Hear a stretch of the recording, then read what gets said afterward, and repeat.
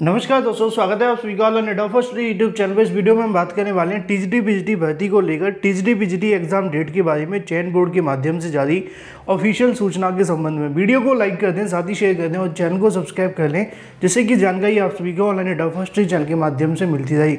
जैसा कि आप जानते हैं, टीजीटी पीजीटी आवेदन हो जाने के बाद अभी तक परीक्षा की तारीखों का ऐलान नहीं किया गया है। इसी के संबंध में लगातार अभ्यर्थियों के माध्यम से टीजीटी पीजीटी परीक्षा की तारीख घोषित करने की चयन बोर्ड के सामने मांग की जा रही है। लेकिन वहीं चयन बोर्ड का कहना है कि हमारे पास सदस्य आने के बाद में नई टीजीटी पीजीटी भर्ती को लेकर परीक्षा की तारीखों का ऐलान करेंगे। उसी के संबंध में आज की तारीख में अभ्यर्थियों के माध्यम से टीजीटी पीजीटी को लेकर चयन बोर्ड पर मुलाकात की गई और मांग रखेगी कि टीजीटी पीजीटी 2022 की परीक्षा की तारीखों का ऐलान कर दिया जाए। उसी के संबंध में यहाँ पे आप सभी को देखने के लिए मिलेगा। अगर बात की जाए सेवा में आदरणीय अध्यक्ष महोदय से मुलाकात करके माध्यमिक शिक्षा सेवा चयन बोर्ड पर जाकर अभ्यर्थियों ने मांग रखी कि विज्ञापन 2022 टीजीटी बीजीटी की परीक्षा की तारीख को लेकर चयन बोर्ड के गठन के संबंध में यहाँ से जो ज्ञापन है वो दिया जाता है। आपके संज्ञान में लाना चाहते हैं कि विज्ञापन दो हज़ार बाईस की परीक्षा का ऐलान अभी तक नहीं किया गया है और ऐसे में माध्यमिक शिक्षा सेवा चयन बोर्ड का गठन भी देखने के लिए नहीं मिला है।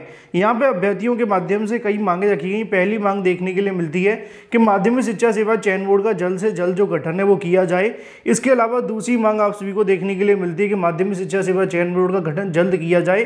साथ ही यहाँ पे लिखा हुआ है कि माननीय उच्च न्यायालय ने भी कहा था कि छः छः हफ़्ता के अंदर यहाँ से जो आप सभी का गठन है वो कर दिया जाएगा चयन बोर्ड का। उसके बाद में परीक्षा की तारीखों का ऐलान होगा। नीचे लिखा हुआ है कि विज्ञापन 2022 की परीक्षा की तारीखों को जल्द जो ऐलान है वो किया जाए, जिसको लेकर छात्रों की असमंजस की स्थिति दूर हो सके। इसके अलावा परीक्षा मंडल स्तर पर कहे जाने को लेकर भी यहाँ पर मांग की गई और भी तमाम चीज़ें लिखी हुई हैं। लेकिन अगर बात की जाए चैन बोर्ड के, जो सचिव हैं वो क्या कहते हैं उसके बारे में जानकारी आप सभी को यहाँ पर देखने के लिए मिल जाएगी। जो कि आप सभी को यहाँ पे देखने के लिए मिल जाएगा। लिखा हुआ है कि प्रतिनिधि मंडल के माध्यम से आज एक ज्ञापन सौंपा गया, जो कि आदरणीय डिप्टी सचिव को सौंपा जाता है, जिनका नाम बीके सिंह गिल है।